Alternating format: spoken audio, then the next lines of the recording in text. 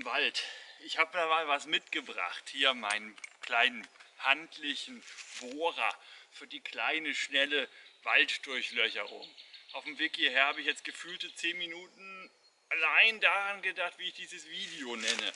Ein Mann bohrt in Wald, äh, ein Mann bohrt im Wald. Das ist aber... Äh, oder ein Mann, ein Wald, ein Bohrer oder äh, ja, ich bin mir noch nicht ganz schlüssig, äh, welchen Titel dieses Projekt genau bekommen soll. So, aber jetzt äh, erstmal Spaß beiseite. Was habe ich hier? Ich habe hier einen Hohlbohrer, wie man vielleicht hier, nein, da sehen kann. Das Ding hier ist in der Mitte hohl. Ne? Und ich drehe es mal ein bisschen, damit man es auch ja erkennt. Und das Teil ist ziemlich lang. So, und warum ist das ein ziemlich langer, hohler Bohrer? Naja, damit, wenn man damit bohrt und den umdreht, ein Bohrkern entsteht. Und den kann man dann, wenn man den Bohrer aus dem Boden wieder rauszieht, entsprechend mit hochholen und hat dann einen interessanten Bohrkern und kann sich damit den Boden angucken. So, und damit ist dann hoffentlich auch schon klar, was ich hier vorhabe. Ne? Bodenkunde. Eine weiteren Funktion hat so ein Bohrer nicht. Man könnte damit vielleicht noch Zombies abwehren, insbesondere mein 2 Meter Bohrer hier. Mit dem könnte das tatsächlich noch ganz gut möglich sein. Und damit herzlich willkommen zum Grundlagen- und Einführungsvideo zu meinen, äh, meiner neuen Serie Ben bohrt Löcher oder wie auch immer ich das dann noch nennen werde. Jedenfalls werde ich jetzt, da ich es rausgefunden habe, dass ich einen Bohrer besitze, durchaus das eine oder andere Loch in die Landschaft bohren. Und wer mich ärgert und wieder Witze macht über irgendwelche Elefanten oder Gummibärchen, dem bohre ich so viele Löcher in seinen Wald, dass er irgendwann mal reinfällt. Also Obacht. Ansonsten einen kleinen Hinweis an äh, das Niedersächsische Landesamt für Bodenforschung. Liebes Niedersächsisches Landesamt für Bodenforschung, vor circa 25 Jahren hat mein Vater euch etwa 6 Meter Torfbohrstange geklaut. Wenn ihr die wieder haben wollt, wäre ich durchaus bereit, 6 Meter Torfbohrstange ähm, gegen einen handlichen Waldbodenbohrer einzutauschen. So irgendwas, na maximal 60 Zentimeter. Was unterhalb von 60 Zentimetern ist, interessiert ja keine, das kratzt ja niemanden mehr. Insbesondere mich nicht, da ich, wenn ich überhaupt im Wald rumbohre, dann auch so ein bisschen gerne den Einfluss der entsprechend oben draufstehenden Baumart haben möchte. Und wie ich schon in meiner Masterarbeit festgestellt habe, zwischen 60 und 90 cm Bodentiefe finden wir kaum noch irgendeinen, na, überhaupt keinen eigentlich, signifikanten Einfluss der Bestockung auf die Bodenchemie. Ne? Was habe ich da untersucht? pH-Wert, Kack, also Kationen-Austauschkapazität, für alle, die nicht wissen, was Kack ist. ähm, ähm, CN-Verhältnis und äh, ja, das waren so die wesentlichen, die wesentlichen Sachen. Und natürlich alles, was man dann quasi gratis noch mitnehmen kann. Das wisst ihr, wissen Sie ja selber, äh, sehr verehrte Kollegen vom Niedersächsischen Landesamt für Bodenforschung. Entschuldigung, ich finde es lustig. Ähm, ja, jedenfalls, mein Vater ist inzwischen gestorben, also den können Sie da nicht mehr verknacken. Ne? Äh, Dr. Jess Tüxen können Sie in Ihren Akten gerne nachgucken, dass es den mal gegeben hat.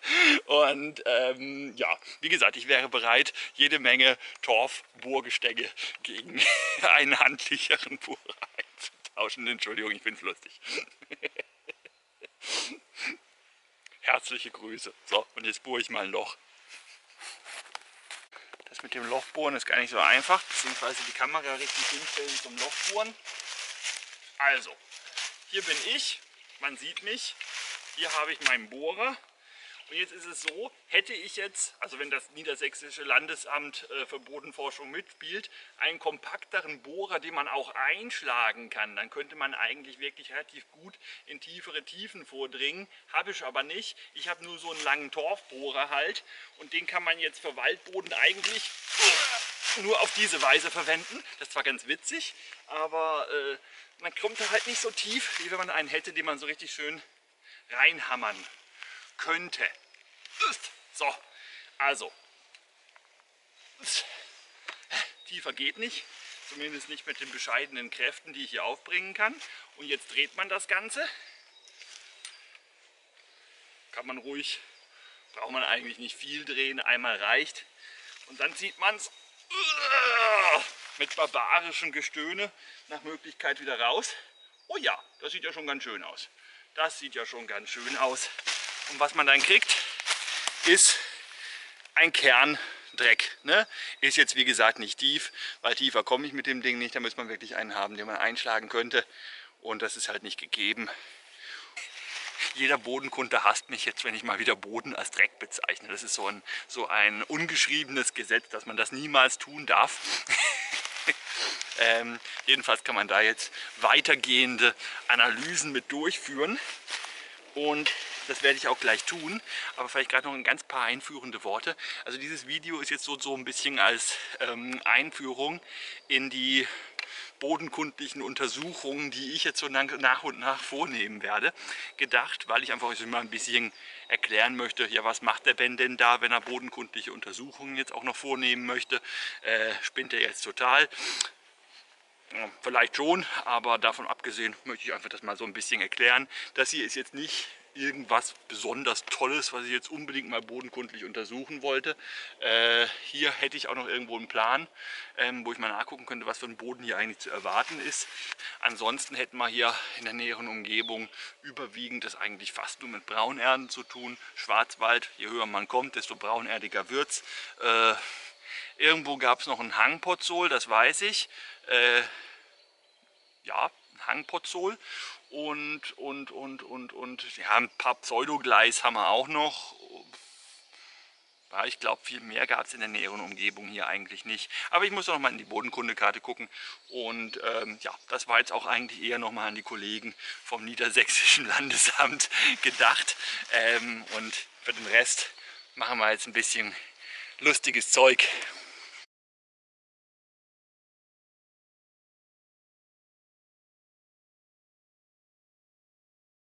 Oh, und damit machen wir da mal ein bisschen Bodenanalyse. Ne? Jetzt sieht es hier nicht mehr so aufgeräumt aus. Das liegt daran, dass ich eben schon mal einen Bohrkern genommen habe. Habe dann aber festgestellt, ich habe ja ganz vergessen, zur korrekten Bohrkernentnahme muss man vorher den, die Auflage entfernen. Ne? Also das ganze Laub, was auf dem Boden liegt, das verstopft einem sonst im Bohrer und man kriegt keinen besonders schönen repräsentativen Kern.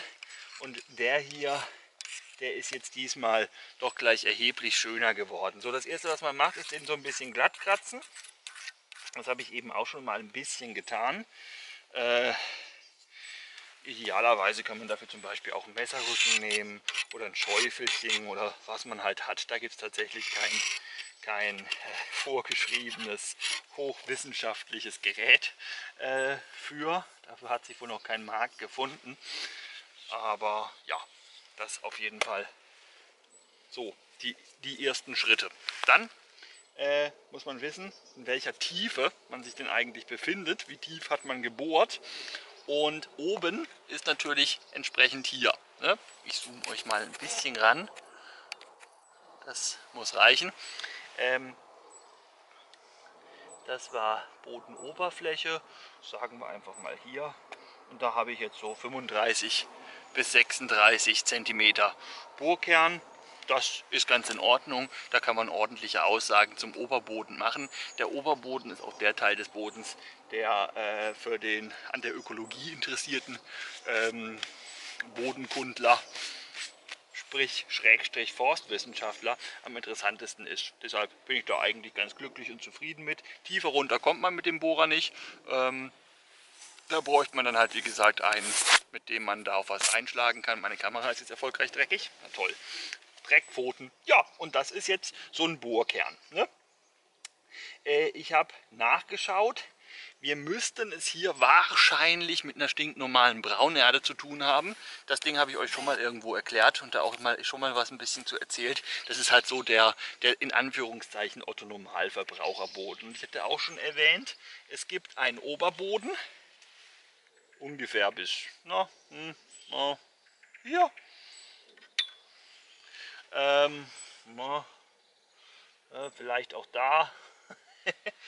Äh, das ist immer so eine Sache. Wo setzt man seine Horizonte? Da können verschiedene Bodenkundler verschiedener Meinung sein. Im Bohrkern, muss ich zugeben, habe ich das bisher nur sehr, sehr, sehr selten gemacht. Deswegen tue ich mich da jetzt ein bisschen schwer. Das ist im Bodenprofil erheblich einfacher. Und da habe ich auch mehr Erfahrung.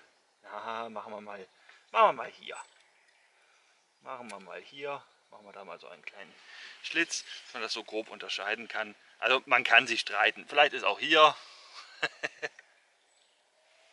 ähm, in solchen Zweifelsfällen kann man dann auch mehrere Horizonte ähm, ausweisen, die zum Oberboden gehören. Also zwei bisschen unterschiedlich ausgeprägte Aha-Horizonte. Ne? Jedenfalls wäre dieser Bereich hier jetzt, wenn wir mal sagen, wir machen bis hier, ähm, der Aha-Horizont. Und übrigens noch ein wichtiger Hinweis, ich gehe hier jetzt nicht streng nach Vorschrift vor, ich erzähle jetzt einfach nur mal so ein paar Dinge, die man jetzt an so einem Bohrkern erkennen kann. Äh, nach richtiger Bodenkartieranleitung ähm, gehe ich wie gesagt jetzt nicht vor, das würde ich dann ein andermal vielleicht auch nochmal machen, aber jetzt einfach nur mal spontan. Ich habe den Bohrer gefunden und habe gedacht, den gehe ich jetzt mal ausprobieren. So, aber selbst ihr erkennt wahrscheinlich einen Unterschied von dem Boden hier oben und dem Boden hier unten. Und zunächst mal kann man einen leichten Farbunterschied wahrnehmen. Den sieht man leider auch hier vielleicht so ein bisschen. Nein, das, das bilde ich mir nur ein. Das bilde ich mir nur ein. Äh, ja, ähm, nämlich hier oben ist er ein bisschen dunkler, ein bisschen schwärzer als hier unten. Und das ist ganz typisch, dass so ein Aha-Horizont ein bisschen eine dunklere Farbe hat, ein wenig ja, schwärzer bräuner äh, ist als der Rest vom Boden. Das könnte hier zum Beispiel auch sehr hell sein. Ist es jetzt nicht, weil es ist eine Braunerde, ne? deswegen ist es braun. Äh, das spielt tatsächlich eine Rolle. Ähm, aber hier haben wir nur eine leichte, leichte farbliche Unterscheidung äh, verglichen mit dem Unterboden. Also ne, es gibt erheblich deutlichere Unterschiede. Ist das da oben wirklich pechschwarz und hier unten, boah, also wirklich erheblich, der Farbunterschied einfach erheblich höher. So, mehr kann ich jetzt dazu auch nicht sagen. Was wir dann noch feststellen können, ist, dass wir einen Unterschied im Gefüge des Bodens haben. Ein Teil davon kommt natürlich durch das Bohren, durch eine bohrbedingte äh, Verdichtung des Ganzen, weil da unten ja immer neues Zeug nachgedrückt wird und der Unterboden automatisch gestaucht wird. Will man also zu der Horizontierung des Bodens wirklich einwandfreie Aussagen machen äh, ja, können, dann muss man wirklich ein Loch Loch graben und die unbeeinflusste Profilwand sich halt eben anschauen, weil wie gesagt, das ist hier verdichtet und richtig, richtig, richtig ähm, solide Aussagen zum Bodengefüge kann ich hier nicht machen. Was ist ein Gefüge? Äh, hier diese krümelige Struktur dieses, dieses Lockere, dass der Boden da lockerer sitzt im oberen Bereich und hier unten so dicht zusammengepackt ist. Ne? Das nennt man halt eben Gefüge, was für eine Struktur man da an den einzelnen Partikeln äh, erkennen kann, also an den einzelnen Komplexen von kleinen Teilen im Boden, die zusammen größere Klumpen also um es mal ganz laienhaft zu sagen, äh, bilden. Und das sagt sehr wohl was zum Boden aus, dass wir zum Beispiel hier so kleine krümelartige Strukturen haben, würde in diesem Fall bedeuten, dass wir es hier mit einem Krümelgefüge zu tun haben. Und das deutet auf eine hohe ähm, mikrobielle Aktivität hin, soweit man das alles im Bohrkern sagen kann. Nochmal, Bohrkernaussagen sind nicht wissenschaftlich korrekt, man bräuchte ein Profil. Ähm, weil, was sind denn diese Krümel, die können zum Beispiel eben tatsächlich durch, wurde mal vom Regenwurm gefuttert und wieder ausgeschissen, ähm, entstanden sein. Und das ist also ganz typisch, dass man dann so einzelne, einzelne Krümelchen äh, rund zusammenklebende wie so äh, größere Steinchen, die aber keine sind, sondern tatsächlich wirklich nur äh, Feinbodenpartikel. Ah, na, so kann man es aber glaube ich auch ganz gut sehen. Ähm, eben diese Krümel. Das ist ganz typisch vom oberen Boden. Wenn man den einigermaßen verdichtungsfrei in seinem Bohrkern bekommt, dann hat er fast immer diese Krümelchen hier, äh, auch bei Waldböden. Das ist ein gutes Zeichen. Wären die nicht da, dürfte man sich Sorgen machen, weil das dann auf eine äh, erstaunlich geringe Mikro, äh, ja, Tieraktivität im Boden hinweisen würde oder halt auf diverse andere Sachen. Da gibt es jetzt Möglichkeiten noch und nöcher. Aber es ist auf jeden Fall schon mal gut, dass das da ist. Soweit könnt ihr es euch ja vielleicht merken. Und hier unten, wie gesagt, ein Gefüge ist da jetzt nicht mehr erkennbar. Da gibt es einfach gar kein Gefüge. Das ist einfach ein durchgehendes Stück Boden. Ähm, was man hier jetzt aber noch untersuchen kann, ist,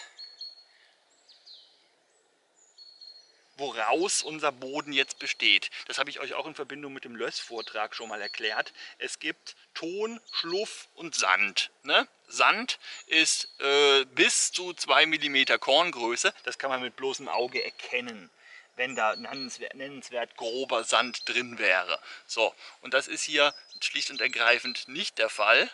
Stellst du es scharf oder stellst du es nicht scharf? Scharf stellen schafft er nicht, wenn ich zu nah rangehe. Naja, wurscht. Äh, müsst ihr mir jetzt einfach glauben, ich kann hier jetzt mit bloßem Auge wirklich keine äh, größeren Sandpartikel erkennen. Was in diesem Boden auffehlt, das ist auch nochmal wichtig, ist Skelett. Skelett wären Strukturen, äh, Mineralbodenstrukturen, ja, mineralische Strukturen, sage ich jetzt mal, die größer als 2 mm sind. Also Steinchen auf gut Deutsch. Oder gleich wirklich Steine. Haben wir hier alles nicht drin. Der Boden besteht wirklich nur aus diesem Feinmaterial, ausschließlich Skelettanteil nahezu nicht zu erkennen. Also zumindest jetzt so mit optischen Methoden, man kann das noch besser nachweisen. Ähm, und das nächste, was man dann tun muss, ist das Ganze halt mal ein bisschen in die Hand nehmen und mal gucken, wie sich das anfühlt. Eigentlich sollte man es für so eine Fingerprobe, also Rollen zwischen den Fingern, vorher noch anfeuchten. Dann verfällt es nicht so ganz so leicht. Ähm, wir haben es hier, das kann ich ganz gut fühlen, wenn sich das so mehlig an den Fingern anfühlt. Wirklich, als hättest du in die Mehltüte gelangt, irgendwie so ein bisschen unangenehm. Ich mag dieses Gefühl nicht besonders, aber man muss es halt trotzdem machen. Ähm, dann kann man feststellen, dass man hier mit einem hohen Schluffanteil rechnen darf. Also die mittlere Kornfraktion, die auch äh, die ähm, ähm, ähm, ähm vorwiegende ja, Bodenart äh, beim Schluff eben entsprechend ist. Also Überschluff. Ne? Bei Böden, die aus Schluff entstehen, weil der Schluff hat ja schon diese kleinen, also diese mittelfeinen Körnchen und dann ist ja klar, dass ein Bodenaufschluff eben auch dann viele von diesen mittelfeinen Körnchen haben wird. Und äh, tatsächlich haben wir hier auch zumindest noch anteilig ein wenig Schluff in der Landschaft, ähm, der eine gewisse Rolle spielt. Es ist trotzdem kein besonders äh, kalkreicher Boden, kein Boden mit einem besonders hohen pH-Wert, äh, weil, tja, Irgendwelche Prozesse haben hier jedenfalls schon zur Bodenversauerung beigetragen. Eigentlich sollte ja auf unserem Schluffboden hier zu erwarten sein, ähm, dass der pH-Wert gar nicht mal so sauer ist. Er ist aber trotzdem sauer. Man findet hier auch keine Pflanzen, die auf was anderes hinweisen würden. Ähm, Im Gegenteil findet man schon die eine oder andere Pflanze, die eben sehr wohl als Säurezeiger fungiert. Aber ja, das muss man, diese, diese Fingerprobe, diese Untersuchung, dieses bisschen drehen und mal gucken, wie weit lässt sich das drehen, wie fühlt sich das an. Das muss man in sämtlichen Höhen des Bodens machen, so viel Boden man, wie man halt eben hat. Nehmen wir mal von unten auch nochmal so eine Probe einfach um zu gucken, gibt es da Unterschiede. Sind denn jetzt hier in diesem B-Boden, in diesem Unterbodenhorizont, der erstmal optisch so aussieht, als wäre der überall derselbe, sind da strukturelle Unterschiede zu fühlen. Dann müsste man nämlich unterschiedliche Horizonte auch in diesem Stück B äh, eben entsprechend ausweisen. Aber dafür kann ich das im Bohrkern nicht gut genug nachweisen. Vielleicht ist eine ganz leichte Tonverlagerung festzustellen. Was wäre jetzt eine Tonverlagerung? Das habe ich euch auch schon mal woanders erzählt. Wenn ich hier mit dem Boden aus dem unten besser kneten kann, eine feinere Wurst drehen kann quasi, als mit dem Boden von oben, dann liegt das daran, dass Tonpartikel aus oben äh, nach unten verlagert worden sind. Das wäre jetzt aber bei der Braunerde, die wir hier voraussichtlich haben, äh, Angaben wie gesagt alle ohne Gewehr, äh, äh, wäre das sehr verwunderlich, wenn es dazu gekommen wäre. Ähm, aber der Tonverlagerung kann ich jetzt zumindest mit dem Bohrstock erstmal nicht nachweisen. Dass der pH-Wert relativ sauer ist, das weiß ich, weil ich den eben schon mal gemessen habe. Ähm, aber das machen wir jetzt auch gleich nochmal zusammen, damit ihr das mal seht. Das lässt sich jetzt ganz gut wiederum kneten, aber sobald man versucht, da noch eine feinere Wurst draus zu machen, dann zerbröselt es.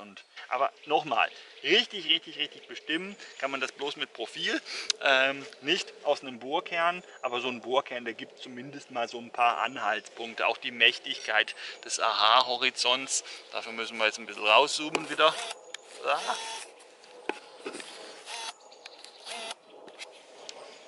Dass der doch relativ, äh, na da habe ich schon kürzeres gesehen, ne? sagen wir es mal so. Da hat man schon weniger mächtige gesehen. Das ist eigentlich ein ganz gutes Zeichen, wenn der, äh, was hat der, 12 cm ungefähr, das ist ganz in Ordnung. Ne? Also das ist jetzt kein Hinweis darauf, dass wir es hier mit einem furchtbar schlechten Boden zu tun haben. Also ein Eintrag von organischer Substanz in den Oberboden kann zumindest mal stattfinden. Wäre es ein wirklich mieser, mieser, mieser Boden von der Fruchtbarkeit her, dann gäbe es das auch nicht. Ne? Also, so. Und jetzt das entsprechende Messgerät. Das hier ist ein ähm, hellige pH-Meter. Das ist die gängige Möglichkeit, zumindest so mal grob den pH-Wert eines Bodens im Feld abzuschätzen. Was ist da drin? Dieses Fläschchen habe ich selber hinzugefügt, das ist gerade Salzsäure. Das ist wichtig für Böden mit Carbonat. Damit kann man Carbonat im Boden nachweisen. Äh, Gibt es hier nicht. Aber ich kann es gerne trotzdem mal drauf tropfen. Wenn es Carbonat im Boden gäbe, na, zack, da war ein Tropfen, dann wird das hier jetzt gleich brodeln und sprudeln und man könnte das richtig schön sehen. Ähm, also sieht so ein bisschen aus wie so eine Ätz-Reaktion. Das ist es vielleicht eventuell auch, das weiß ich jetzt gerade gar nicht so genau. Ähm, jedenfalls, das wäre sofort zu sehen. Hätten wir also sowas, dann hätten wir das jetzt gesehen. Ist also nicht der Fall. So. Und das andere, was da drin ist, ist ein Universalindikator, ne? Bodenindikator ähm, pH 4 bis pH 9 kann man damit grob nachweisen. Man kann auch nachweisen, dass der pH-Wert möglicherweise noch saurer als 4 ist.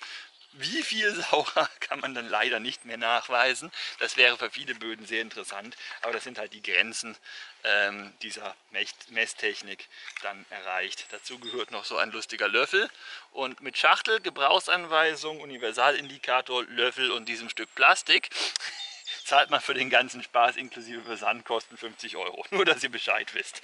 Äh, das ist also wirklich so ein bisschen äh.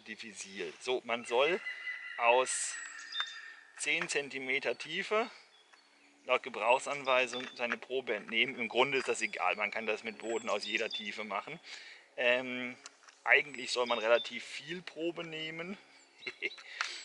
Aber ich bin jetzt mal so fies und unterstelle denen, dass die deswegen sagen, dass man viel Probe nehmen soll, damit man dann auch viel Indikator draufkippen muss und das Zeug ist teuer. Und die wollen natürlich was verkaufen. Und das stelle ich denen jetzt einfach mal. Es sollte für den Chemismus völlig wurscht sein, wie viel Boden man nimmt. Ähm, der Indikator sollte auch bei geringsten Mengen eigentlich anschlagen und man braucht dann weniger Indikator. Deswegen habe ich jetzt wirklich nur so ein paar Krümelchen genommen. Ich hoffe, man sieht das einigermaßen.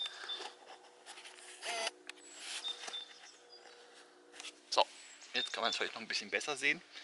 Und wenn wir jetzt den da drauf kippen, das reicht auf jeden Fall, äh, dann stellen wir fest, der verfärbt sich auch schon. Und er verfärbt sich ziemlich rot. Ne? Und das ist auch schon ein relativ gutes Zeichen dafür, dass wir es hier auf jeden Fall mit pH 4 oder saurer zu tun haben. Viel saurer als pH 4 glaube ich nicht, dass es hier ist. Aber das ist das Problem. Das können wir jetzt nicht mehr nachweisen. Wenn man das jetzt noch genauer machen möchte und hier eine genauere Differenzierung zwischen zum Beispiel hellgrün und dunkelgrün vornehmen möchte, was sie natürlich nicht ist, das gibt es höchstens auf landwirtschaftlichen Böden. Ne, also wirklich die grünen Farben. Das mache ich auch mal irgendwann, dass ich einfach meinen Ackerboden nehme und da mal mit dem Ding arbeite. So, hier kann man es jetzt ganz schön sehen. Dafür ist das gedacht, dass man sich hier rüberkippt in dieses Ding, wo man die Farbe besser beurteilen kann, weil sie da weniger beeinflusst vom Boden ist. Man musste das eigentlich nochmal schön sauber machen, das war jetzt noch ein bisschen dreckig. Ähm, und gerade wenn man das dann hier so in der Ecke sich sammeln lässt, dann kann man sehen, das ist auf jeden Fall rot. Also wir haben es definitiv nicht mehr mit pH 5 zu tun und schon gar nicht mit pH 6, dann wäre es ja gelblich, sondern es ist tatsächlich pH 4. Also ist auf jeden Fall ein Boden, der im oberen Bereich ziemlich sauer ist. Was man jetzt noch machen könnte, was ich aber aus Kostengründen sein lasse, weil wie gesagt der Indikator ist teuer, äh, in verschiedenen äh, Tiefen des Bodens Proben nehmen und da jeweils den pH-Wert bestimmen. Es wäre nämlich durchaus anzunehmen, dass der in tieferen Tiefen steigt. Ne? Also dass man dann da möglicherweise einen nochmal ziemlich höheren pH-Wert bekommen könnte. Das ist bei Waldböden in der Regel so. Der pH-Verlauf wird gegen runter äh, irgendwann mal ein bisschen besser. Dann kann es aber auch sein, dass er dann irgendwann mal wieder ein bisschen schlechter wird. Das ist, kommt immer ganz stark darauf an. Das wäre also eigentlich noch ziemlich interessant.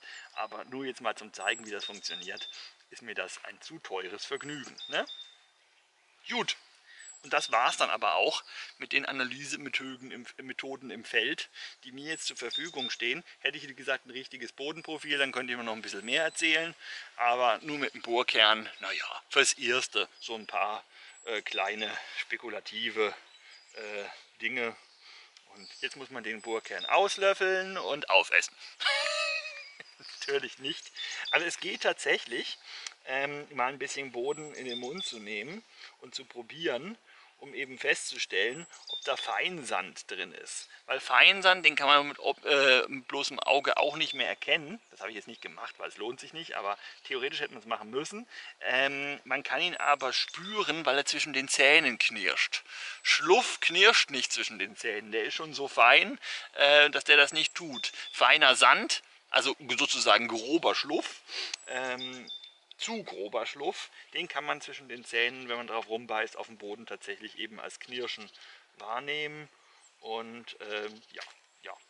So, und dann soll es das gewesen sein. Und ich habe mal meinen Bohrer im Einsatz gehabt und ein wenig pH-Wertmessung betrieben. Ähm, ja, mehr dazu dann irgendwann in der vielleicht nicht ganz so fernen Zukunft dass man sich dann vielleicht mal äh, einen carbonathaltigen Boden anschaut, wo dann mit der Salzsäure auch was Spannendes passiert und nicht nix. Das ist der Grund, weshalb bei Studenten saure Böden nicht beliebt sind, weil die blodern halt nicht, wenn man Salzsäure drauf gibt. Macht's gut, bis zum nächsten Mal.